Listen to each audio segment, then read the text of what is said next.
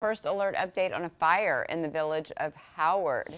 Officials say the estimated cost of the building and contents is $150,000. Crews were dispatched to Millwood Court in the village of Howard. Fire crews say they worked for about 45 minutes to contain the fire. They also say that they remained on scene for two and a half hours to overhaul and extinguish all remaining hot spots. No one was injured on the scene. The building and contents were at a total loss and the cause of the fire is still under investigation.